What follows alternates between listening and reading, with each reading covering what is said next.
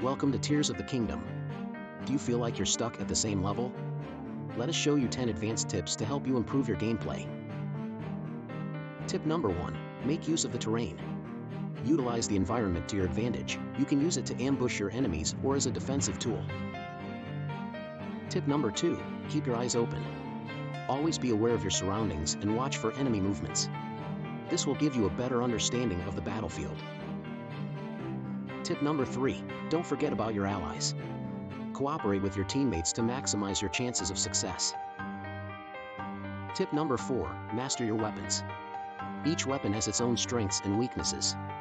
Learn how to use them effectively and choose the right weapon for the right situation. Tip number 5. Know your enemy. Learn the enemy's tactics and strategies to gain an edge in battle. Use their weaknesses against them. Tip number 6. Don't be afraid to experiment. Try out different strategies and plans. You never know what might work and what might not. Tip number 7. Take your time. Don't rush into battle. Plan ahead and use tactics to get the upper hand in combat. Tip number 8. Use your resources wisely. Don't waste your resources. Make sure you use them effectively to get the most out of them. Tip number 9. Keep your morale up.